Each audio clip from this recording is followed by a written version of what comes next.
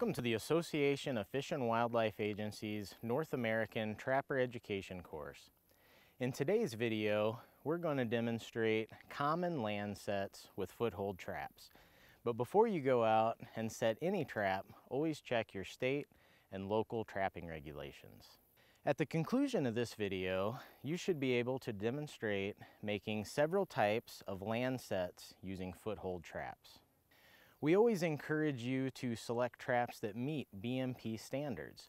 Also, always check state and local trapping regulations before setting any trap. Some of the sets we demonstrate in this video may not be allowed in your area.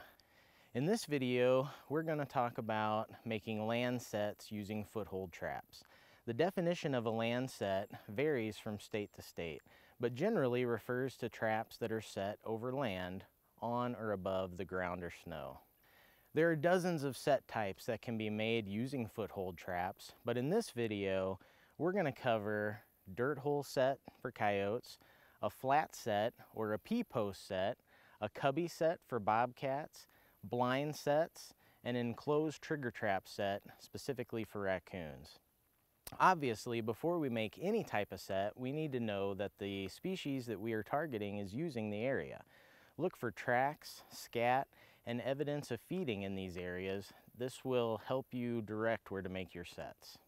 The second thing we want to consider before making a set is how to avoid capturing non-target animals. Even though it is often possible to release a non-target animal unharmed, it is still best to avoid catching them in the first place.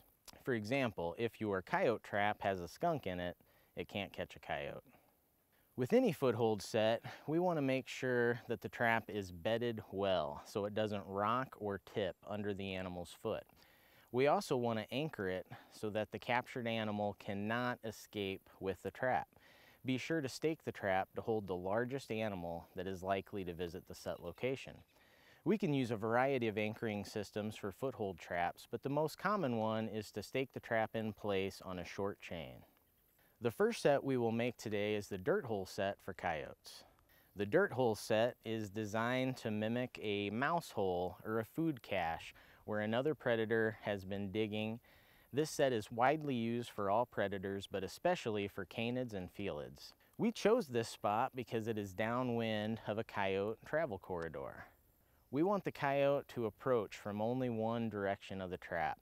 So we're gonna use some backing and in this case gonna use a little clump of grass for a backing so that we know which direction the animal is gonna approach the trap.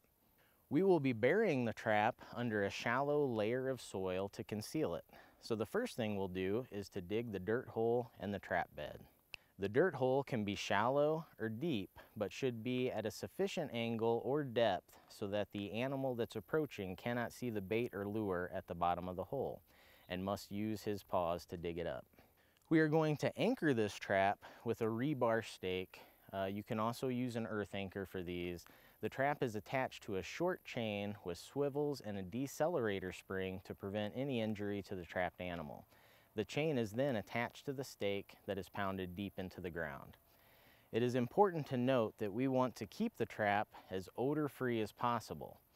Many predators are leery of human scent, but we also want to keep the smell of our bait and lure off the trap that we're using. We don't want the animal to dig up our trap because he smells it. Now, a flat set is made similarly to a dirt hole set with a few modifications. A site is selected and the trap is set and bedded similarly, but there is no dirt hole. Instead, the trap is placed adjacent to an object that an animal might be curious about or urinate on. This could be a bone, a stump, a rock, almost anything that would attract an animal's attention. Additionally, instead of leaving the ground obviously disturbed, the trap bed is blended into the surrounding area, so there is no evidence that a trap has been set. A P-post set is just a flat set that is designed to encourage an animal to urinate on the attractant object. In this case, the attractant might be a stick, a rock, or a tall clump of grass. Urine from the target species is squirted on the object to mimic a natural P-post set. Like the dirt hole set, flat sets work for many species of predators including fox, coyote, wolves, and bobcats.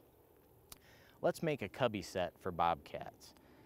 This set is made by constructing a cubby that encourages the animal to enter through a single opening. It can be very effective for bobcats, raccoons, skunk, and fisher, but generally does not work well for canids. The cubby can be made from materials found on site, or some from manufactured shelter that is transported to the site. Now bait or lure is placed inside the cubby and the trap is bedded at the entrance to the cubby. Although it often is slightly concealed, it is often not necessary to hide the trap completely. In addition to scent-based lures, bobcats are often attracted to flapping feathers or other sight attractants. A piece of tinsel, a bird wing, or large feather, or even a CD hung over or near the trap can draw cats from some distance away. A blind trail set can be effective for many species that regularly use a specific trail or fence crossing.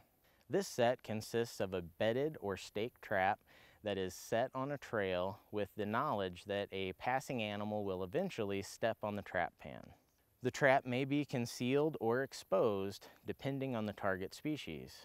Stepping sticks, pebbles, or cones are carefully placed around the trap to encourage the animal to step directly on the trap pan. No bait or lure is typically used at a blind set type.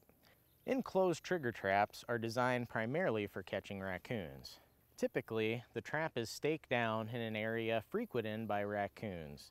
It is baited with either a sweet bait, a marshmallow with jam on it works well, or a meat bait, often fish or shellfish, by placing the bait inside the trap behind the trigger. Raccoons are generally not trap shy, so the trap can be left completely exposed. A golf ball or other covering can be placed over the trap opening to protect the bait from rain and snow and non-targets. Thanks for watching this video on the demonstration of common land sets with foothold traps. Please be sure to check out the BMPs and other trapping resources on the Association of Fish and Wildlife Agencies website.